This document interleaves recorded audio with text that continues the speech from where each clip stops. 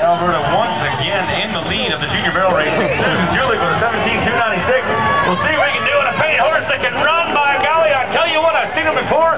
I'll see him again. Second barrel just as good as the first. Rock and roll down to the third. By golly, let her know that you like what you.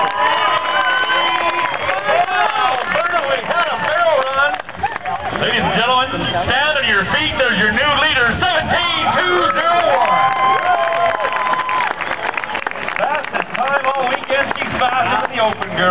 17201.